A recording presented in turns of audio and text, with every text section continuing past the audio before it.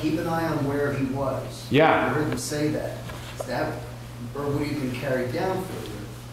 Yeah, so one thing when we talk, we're going to do a segment here tonight on, uh, on avalanche rescue as well. And one thing that we want to know is the last point seen. And the reason why we want to know the last point seen of where somebody gets caught is it's going to help you start to do your avalanche rescue scenario with your avalanche transceiver. And so that's why they said like keep an eye on him so we really know that he's like in the middle or on the side of that whole avalanche. It's a good idea to keep an eye on. Any any other questions, you guys? Yeah. What are, other than, other than a guy in a snowmobile like that, what's, what are other triggers? What, yeah, so what, what other kinds of triggers are out there? Well, me or you, right? Like the skier, the backcountry user could be a trigger. Um, rapid snowfall is considered a trigger. Um, strong winds overnight. Also, like come springtime here in the Utah, what happens is we get really strong solar radiation and rapid warm up. So that's a that's a good trigger to think about. Um, explosives from a ski area. So anything that can actually initiate the avalanche is considered a trigger. So kind of endless possibilities. Somebody, yeah, cutting a cornice. Does everybody know what cornices are? Like the overhanging snow on the steep ridgeline. So a cornice could be a trigger. So sometimes on the Avalanche Center website, they'll say, be aware cornice is falling, as those could trigger large avalanches. So does that answer your question? Cool. Any other questions? Yeah. Yeah, about five or six years ago in Cordova, Alaska, there were a couple guys who were uh, in the trees, Yeah. and they had their dogs with them. And um, they- they called their dogs down, or wherever the dogs were, and one of the dogs was on the top and created an avalanche, and one of the guys died. Oh wow, that's that's pretty uh, pretty bad, And pretty sad He got accident. wrapped around a tree, and they were in the trees, and it was a huge avalanche. Yeah, it's a pretty bad accident. Yeah. Good question. We ride, we ride snowmobiles, okay? I Yeah. get that. But how do you coexist with skiers, snow, you know, snowboarders? Because if you're riding, you know, riding the ridge, and you, you know, I mean, we, they're like five, six hundred pound mach- machines. Yeah. And you drop a cornice. I mean, how do you, how do you correlate with skiers, you know, Yeah, so- and then, you know, with our machines, I was like, yeah, we kind of do some crazy things, like, I mean, I'll punch through cornices, you know, but on the same token, it's like, I don't want to get other people killed, that's why I'm kind of like, you know, I mean, you travel, you travel on top or you travel on the bottom, how do you keep other people safe, because, you know, That's actually a really a really good point, especially here in the Wasatch, which is such a crowded mountain range. oh, Is it is, is everybody aware of that? Like Wasatch is it's awesome. It's probably like the smallest, most heavily traveled mountain range besides like the Alps.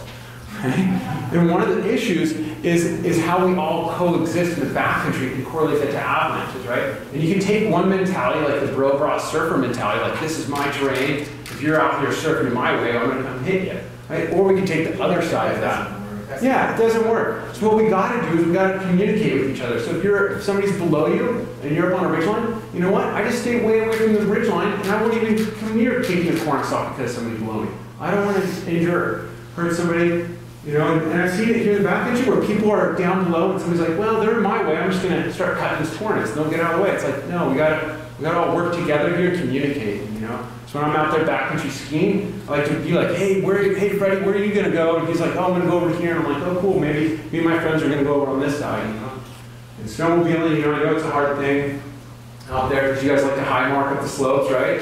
You got like the skiers below you. So just try and make sure when you're doing that, that there's not maybe skiers right below you. Maybe that means you have to wait a couple minutes till they're out of the way, or maybe the skiers have to hurry up. But I think a lot of it comes down to just communication with each other. Yeah, well, I'm just kind of curious on that because I don't know. It's like you you you, you go down you go down in the valleys, okay? Yeah. You got the skiers. I'm like, okay, well, where do they go?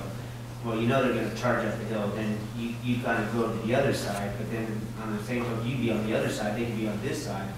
You still trip. You know, I just I don't No. know. It's kind of a It's hard. Yeah, and that's one of the problems here. I didn't know if there's kind of a protocol or anything like that. I think the best thing is, is like uh, the golden rule: treat people with how you want to be treated. So if you don't want somebody to ski right above you, then don't do the same to them. That's kind of worked for me in the backcountry. So, I don't know. Does that answer? I know it's, it's a tough question. You're putting me on the spot. Didn't know me, but uh, I usually do it. All right, I'm gonna. Uh, yeah, one more question. So when you're in the resort, Yeah. um, I mean, obviously, there's a lot of avalanches that happen in the resort too. So the triggers in the resort are the same, and they may not have uh, controlled them either. Correct. How Yeah. you, because there's this false sense of security there, I think. Yeah, that's a tricky uh, question you're asking. Yeah, Um, so inside the resort, you know, uh, I think resorts do a phenomenal job of doing the best thing they can to, to mitigate an avalanche risk in their thing. But you know, when you there's a, an assumption to risk when you go to a resort, and I recommend to people if you have an avalanche beacon, you might as well use it in the resort because it doesn't cost you anything except batteries. So, but you know, it's a tough thing, you know. So I think uh, the the resorts do a phenomenal job, and if you're skiing in the resort bounds that are open, then you're probably safe. There are, uh, there are risks with, with skiing. So, there's only so much people can do, just like there are risks with driving and stuff like that, so. so. I think the same rules should apply as far as skiing above somebody. Yeah, I think so too, yeah, for sure, you know, try and be courteous to people. you know. More people get hurt, you know, at resorts because people collide with each other, skiing fast out of control than an avalanche, so. Well, I have a lecture on that someday too. All right, I'm going to pass this on over to Freddie, and Freddie's going to talk a little bit about avalanche terrain. Okay, that's, this is going to be a little bit of a shock now with my accent. Just coming back to that question to Jack too, some countries now, especially in Europe, you are responsible if you drop an avalanche, you kill someone, you go to court. Some countries even have um, new regulations. If you release an avalanche in the backcountry, you go to jail. So there's a lot of stuff going on with those avalanches because that is a problem all around, you know, people dropping snow on other people. So if we can be really responsible about it, we don't have to go that far. And it's kind of ironic, you know, Europe is not so much into that suing um, trend, but they did that. Italy is very, very hard on it. So you have to take responsibility if you release an avalanche. Uh, so if we do a good job, we don't have to go there, I hope. So let's go see if I have this right. This is the triangle again. So it gives us some clues what, what's out there. We're trying to collect all this information. This works. Okay, we're looking at avalanche terrain. And avalanche terrain is a little bit like real estate. It's location, location, location. It's also the easiest one if you're a beginner in the, in the backcountry to start. It's easy to get a hold on it, but it's also, for me as a professional, I can really go with the terrain because terrain doesn't change on me. It's always the same. Uh, so terrain is really, really important. I work with the terrain so much. I work it, really work it. So this is something you really want to pay attention. Fingers are too big. So when you go out there and you have an objective, that might not work because actually the conditions they determine where you go or where you don't go. Like this group here, you know, they're going out there and you can see the first guy going like, oh my god, when that went. They released it, they were triggered. Uh, so the conditions, they determined that.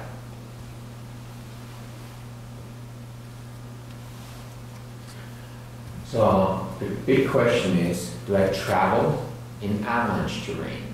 You've got to ask yourself this question all the time. So I'm trying to help you here a little bit to recognize avalanche terrain so you know where you don't want to go or where you want to go. The first one, and sort of the easiest one is, is the angles. So you have a 30 to 45 degrees. That's usually the starting zones of slab avalanches. But when you ski a slope in a ski resort, what kind of slopes do you ski? Greens, blues, blacks? Blacks. Blacks are kind of easy, right? We have those great skis, rockers, and all that. It makes it really easy. So we, we ski a lot of steep terrain. We go down here, So 35, 30 to 35 is a black diamond. You see the, the diamond there. Most people can ski that. Uh, but that's a, avalanches run, start there. They can even go below that. So double black diamonds are 35 to 45. That's not even that steep, you know, if you think about it. Look at that slope angle. And 25, it's rare, but they can run into 25 degrees if it's a big avalanche, very unstable snowpack. Why do you think not so much 45 to 60? Snow doesn't hold there. Usually doesn't hold, it slides off, it sloughs off while it's snowing. So it's moving, but it's never really gonna build up. There's some climates that can happen, but around here, generally not. uh. So we're really looking at the 30 to 45 degrees. That's really where those avalanches start. So how do I find out? I get myself a slope meter. I can measure it. Or you can have a cell phone, you get the app, so you can put the cell phone on that slope. And we go a little bit into preparation, tour planning. If you do a good job, you know where you're going, how steep that slope is. So you go out there from a safe distance, trying to estimate those slopes, and then you can go in there if it's safe to figure out how steep it is. So you actually get good at looking on the slope to see how steep it is. So you know when you go in 30 degrees or you go in 35 or 40 degrees, because that's really tough.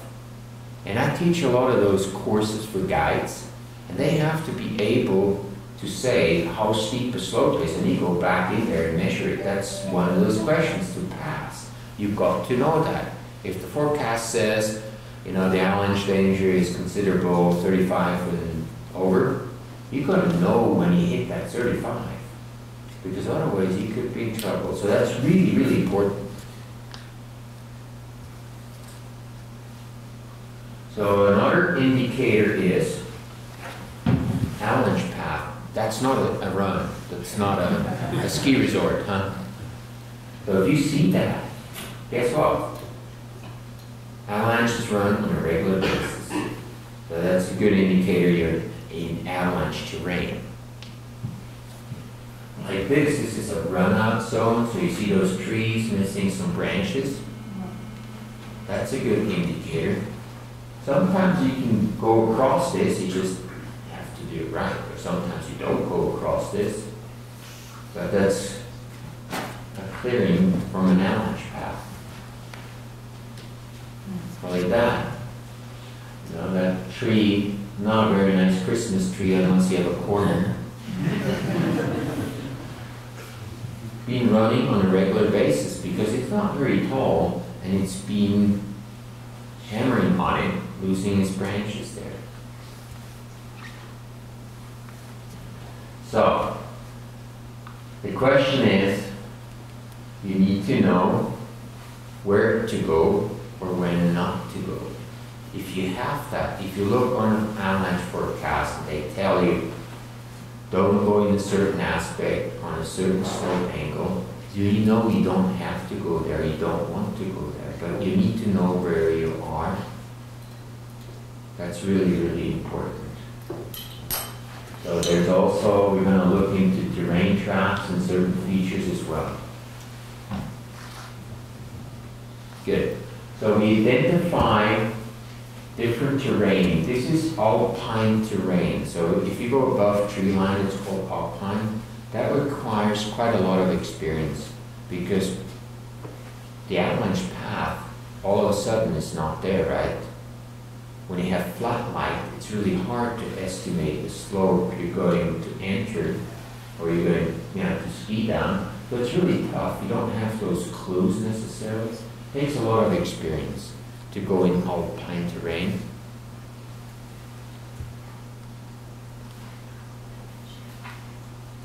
So you you see there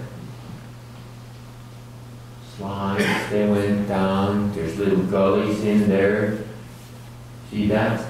Little ridge that comes over, rolls over. Those are all potential starting zones for avalanches. Or where they run. Like this picture here, that's in uh, Alaska, it's huge terrain.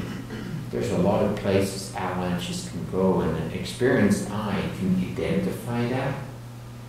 But if you're not so experienced, it's really difficult. Or just make you're getting a white eye. Oof, that's going to be tough to navigate around all this. We actually have a saying: if it's considerable and you can't see, and you don't know 100% sure where you are, don't go. Because you're going to end up somewhere where you don't want to be. So this is a bit more the Wasatch, that is in the Wasatch. Have a lot of trees, it's sort of undefined terrain, it has a lot of starting zones. So if you want to go into those slopes, it's really tough to get in there. You really have to be good to find a way in there? And that's very often where we ski when you have a little bit of a higher avalanche danger. Mm. But those avalanches can still run in there in small little pockets. So in the terrain, we have two significant features. It's convexity, it's over the wall. So there's a lot of tension. Think about it, you just ski on it with your ski, you're cutting that snow up, steep enough to slide, there's a lot of tension on it, right? But the concavity also, you can be in the flats and that can travel there because there is a compression going on. So it's on either side.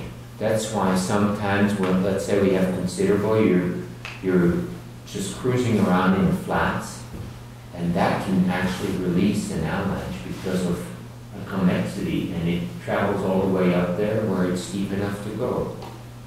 People actually quite often get caught standing on the flats, and it comes from the, from above.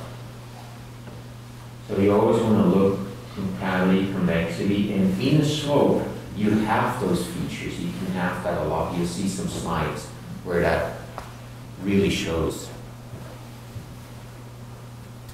Like here, it has a little bit up there in the top, right? Right on the top, you see that, but that has more to it too, huh? So you have convexity, concavity we talked about, but there's some more irregularities, like a rock. The snow is not homogeneous around it. I have a funny story. Once I, I helped for a movie, and this director asked me, "Can we ski this slope?" I said, hmm, "Let me have a look." So I went down on a rope. I came around it, and I stepped on this rock. I stepped on it, and I was trying to pull my outer foot on it, and it went nice and quiet. But I was on the rope, so nothing happened to me. And it was just because that irregularity in there. Now that's a good trigger point. So if there's a little bit rock sticking out and so on, that could be one. And you see it on this picture really well. Also under trees, you have that irregularity. The snow snowpack can be thin. That's a good trigger point. If you ski up on that, you can start sliding below you. You can see it up there too. There's some trees on the fracture line. Or right below a cliff, same thing. Or below a cornice. It doesn't have to be the cornice, but just a little bit below that. And you start cutting that through, that can grow. So those are six significant trigger points. That's going to follow you all the way through if you do avalanche education on the warning depth. That's what I look for as a guide. Are the trigger points in that slope?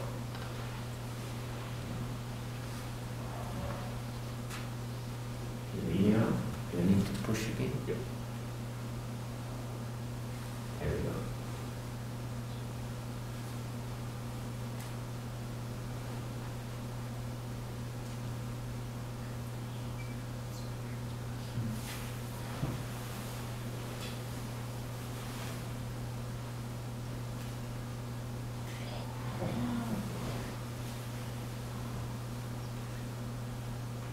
So what was that trigger point, what do you think? Convex, yeah, it's also steep, huh? So it, it takes two here. It's steep enough to go. So this one here too. Can you see the trigger point? Somebody tell me?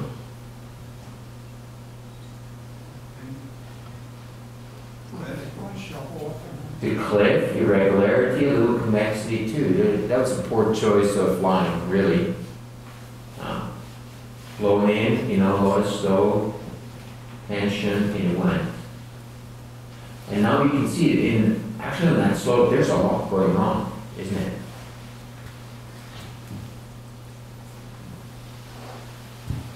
Same here, huh? So this is, you know, what we kind of see a lot here. Lots of trees, you feel safe, there's trees, but in those trees, you have all those little places where you can trigger an avalanche.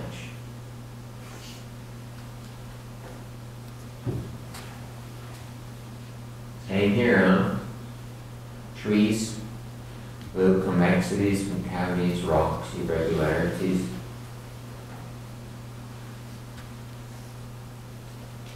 Then terrain traps. So terrain traps is anything like a gully. It can be a rock, it can be trees even, a cliff that you get swept over. So it doesn't need a lot to actually be buried. It doesn't take a lot of snow. And on this one here, the, I think it was the patrol, the head patrol, he died in here. He was ski cutting it. He started cutting a little low by himself, and he got buried four feet and never came out alive again. So on another note here with that ski cutting, ski cutting is for experts. You know, you've gotta know where to cut, where it's gonna go, otherwise you might be the one going and you meant good, but you cut a little too low and you're going with it. And so you've gotta be really careful with that ski cutting.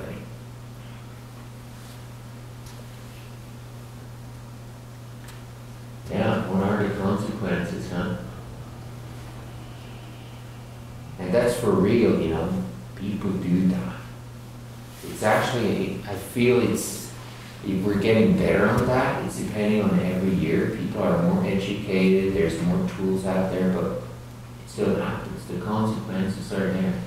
You don't want to be this person.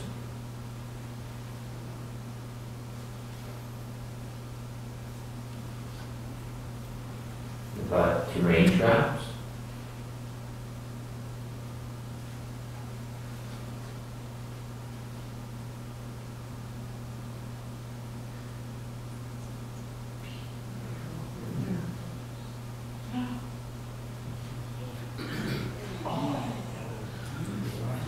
over the cliff, huh? Bad hair day. Right here, that's a good terrain trap right where the flat is. It doesn't take a lot of snow. You just face down, one foot of snow on top of you, you can't move anymore. I mean, the snow sets up and it's, it's concrete hard. You, you're not moving, you know, you're not doing a hell of a lot in there. There's even a track in it. I picked that picture out from the Swiss um, Avalanche Center, so I don't know how or what exactly happened, but it seems like those people walked away being lucky. Or terrain traps, you know, going through the trees, going 40, 50 miles an hour, I don't think that's very nice either. At least you might have a chance to hang on to a tree, but if you're not hanging on, you know, those branches starting to poke you and the head hanging on those trees, that's not very nice. Getting smushed against that tree down there.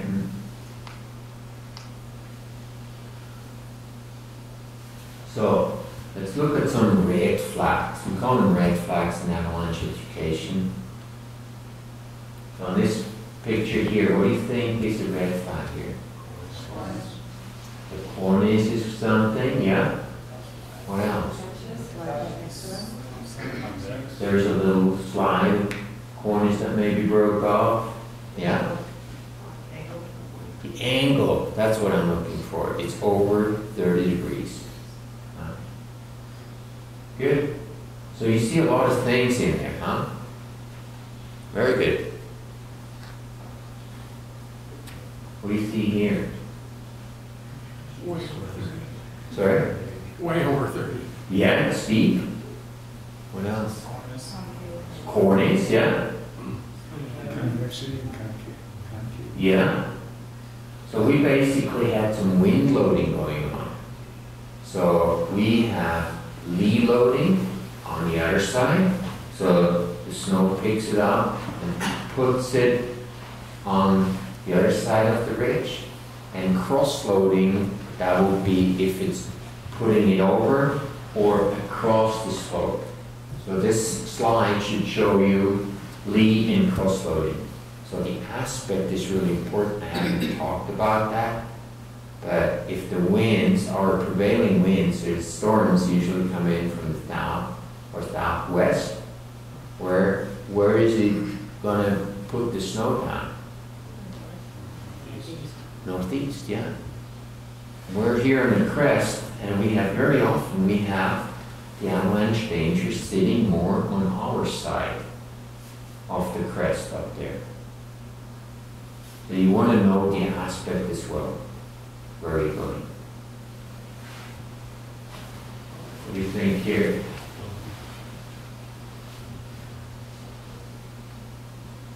There's a rain trap in there? Huge, huh? They didn't into that going? That's not very nice. Well, let's look a little bit about weather. Weather can have a direct influence on avalanche danger. It has a direct or indirect effect. The direct effect here is snow. A lot of snow, a lot of weight. Uh, and usually the first day after a storm, that's the most dangerous time. And after that day, things start settling out a little bit and it gets safer. It's also everybody wants to go out. I mean, we're all skiers and snowboarders or snowmobilers, that's where you want to go out. But that's usually the most delicate time to go out.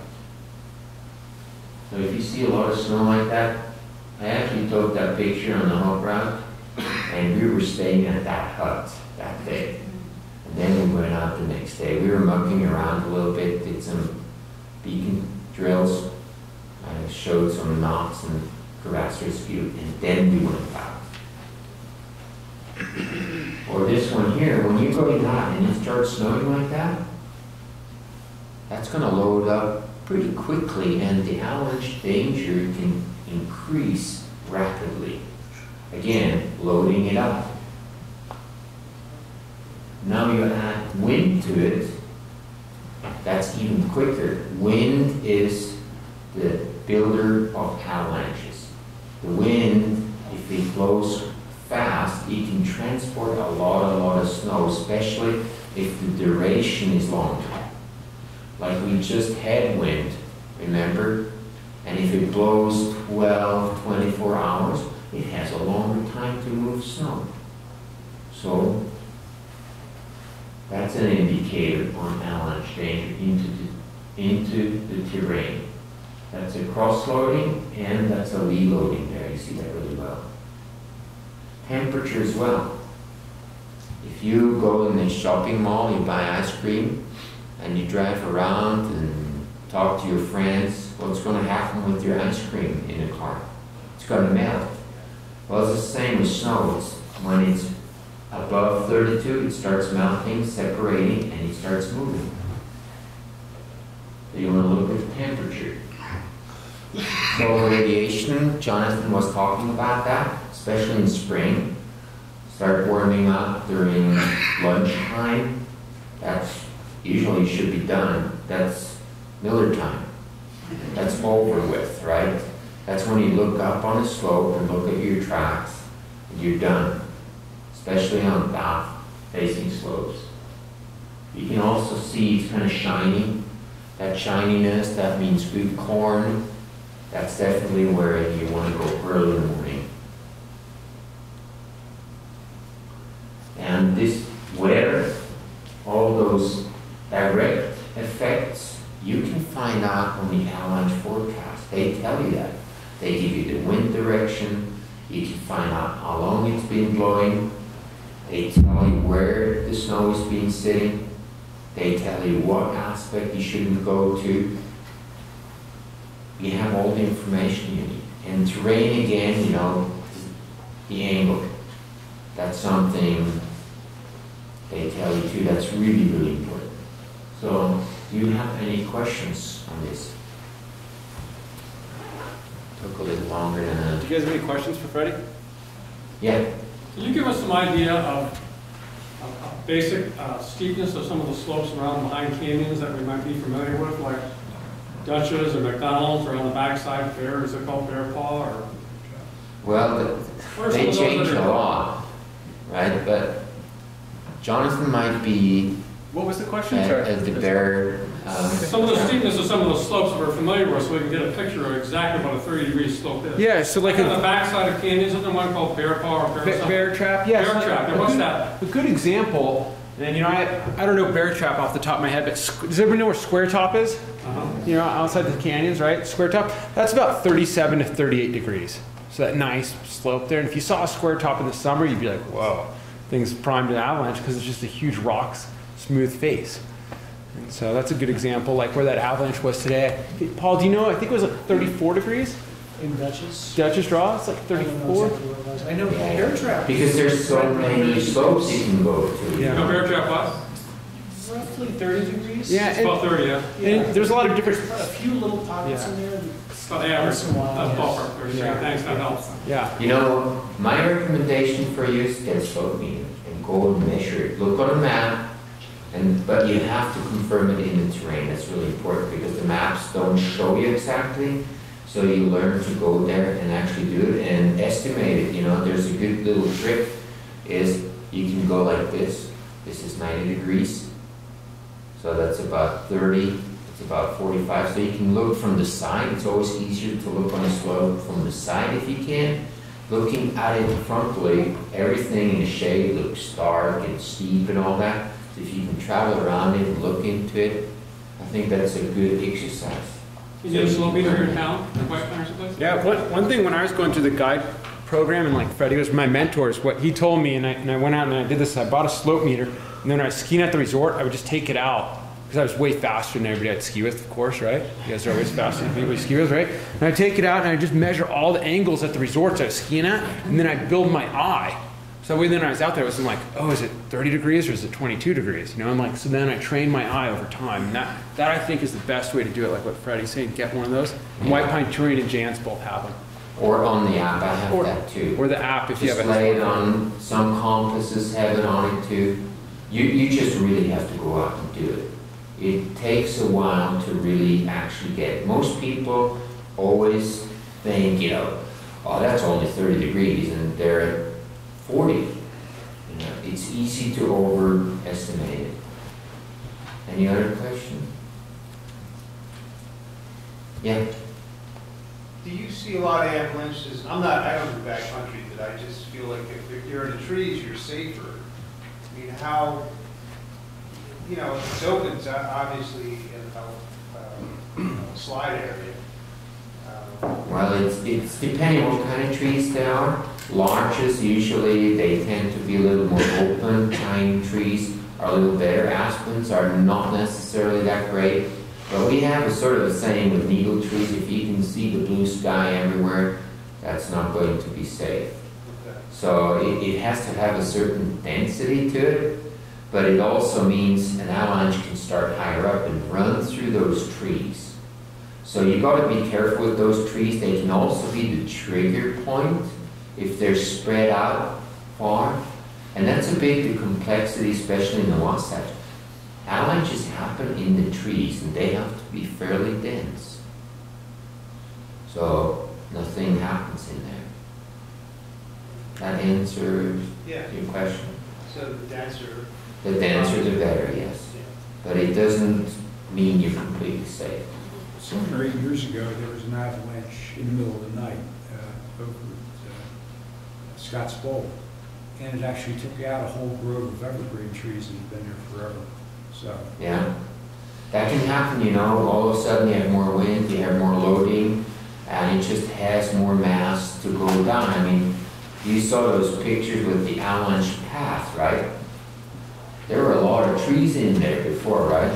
They took them out. It, it's really depending, and there's always those freak events we can have, if you remember, a long time ago, we had a lot of wind, and it transported the wind way lower, and we had the accident up here in um, Empire Canyon, way down. Usually nothing happens there, the snowshoe that got caught in it. That was trees, a little opening in there, so it can happen. That, that's the thing with avalanches, there's so much, you never learn out. I've been all my life in snow, and I haven't stopped learning. I always come across something new. So it, it doesn't stop. Yeah. I got a question, okay. You can do everything right, but there's always that one percent you're gonna get caught in it, great, you know, you're screwed. What's the, the best possible way of getting away from it? I mean, you're already in it, you know, so what's your, your outcome? Try and outrun it? It seems like the kinetic energy is going faster than you can actually move your body, or even in your, your sled, you know, so you can, you, you know, because it looked like that guy was trying to outrun it.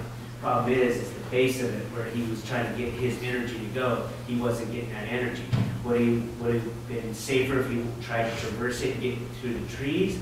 Or, I mean, even if you were a skier, what do you do? You know, Well, it's a good question, yeah. We're gonna actually go a little bit into it in strategies, exit strategies. But if you can ski out, you usually go diagonally and try to go out. You don't try, you're not gonna outski it straight lining it. Yeah, but like if you traverse it like this, wouldn't you get caught into it where it's just, Yeah, you You're can pull your tips down a little bit, but it's all depending. It's really depending where you're at. You know, is it, are you low down? Is it coming on top of you? Are there big chunks? Is it moving fast? Is it steep? You know, steeper is faster. What kind of snow? So it's really depending. A lot of people think they can out ski it. Good luck. I was gonna say, that's, to me, the physics, the physics isn't there to do it. So I guess you would just go to the side. Go to the side if you can, but you have to know which side you're going, you know, you may be going the wrong side. That's difficult, you know. the snowmobile in that picture too was Lazarus returned from the dead.